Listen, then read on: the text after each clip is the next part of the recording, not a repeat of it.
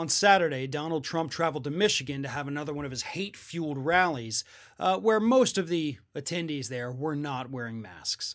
And he was in Michigan, so he brought up Democratic Michigan Governor Gretchen Whitmer.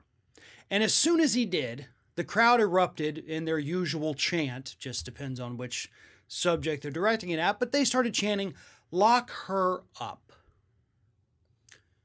Democratic governor of Michigan, Gretchen Whitmer, lock her up, they chanted. Now, none of the morons in the crowd were really able to articulate why it is this woman should be locked up.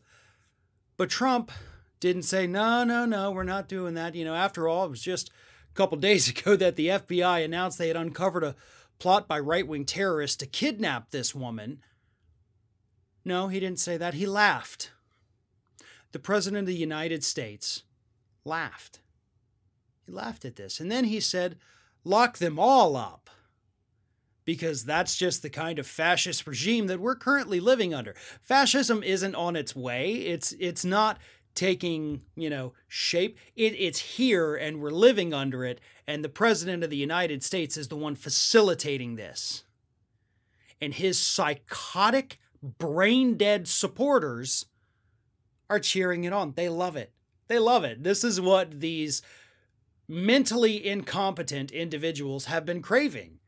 That is what mental health professionals have, have told us in recent weeks that these people crave this authoritarianism that Trump has brought.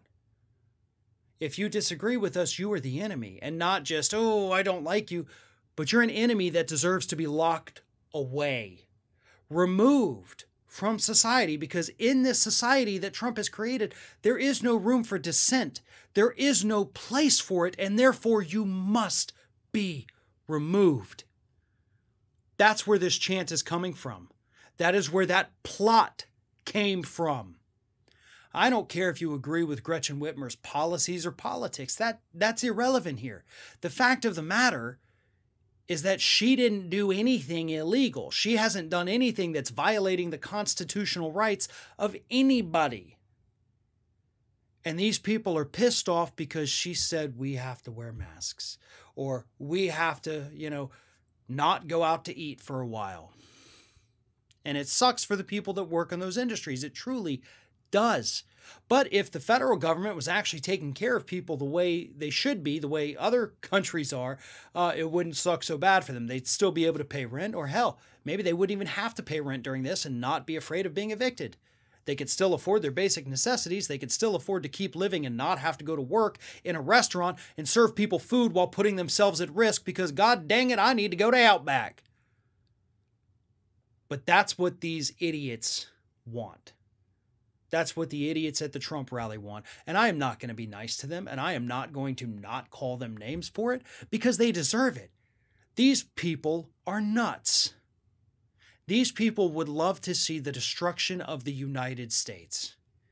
They claim to love the Constitution. They love to pretend to wrap themselves in it, just like Donald Trump has literally wrapped himself around the flag and you know, pretty much done to it what he's done to dozens of women who are now suing him for doing that to them.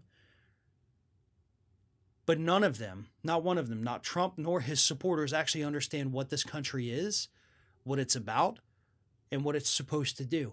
What they want, again, according to mental health professionals, is to be subjugated. They want somebody to tell them how to think, how to feel, and what to do. And anybody who doesn't fit into that mold of what the authoritarian is telling the subjects to do and feel, anybody else has to be locked away. And that is what this crowd made explicitly clear during Trump's rally on Saturday in Michigan. One of today's video sponsors is Surfshark VPN, and right now they have an exclusive offer for our Ring of Fire viewers. Go to surfshark.deals slash ring of fire, and you can get 83% off a two-year subscription plus three months of Surfshark VPN for free. This brings your grand total to $2.21 per month for increased internet privacy and security.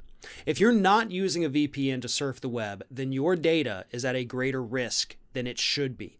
Using a VPN can help protect your data, it can help protect your privacy, and it can actually give you access to lots of features the internet has to offer that you may be missing out on using a regular web browser. For example, there's plenty of areas in the world where certain uh, streaming services are not available. Using a VPN can allow you to get around that. Um, there could be certain content restrictions on a college internet service. This can allow you to access more information. There's all kinds of things that VPNs can do, but the most important thing is that it helps protect your privacy, giving you a little bit more internet security. So again, go to surfshark.deal slash ringofire Use code Ring of Fire at checkout or simply click on the link at the top of the video description below to get 83% off a two year subscription to Surfshark VPN with three months for free.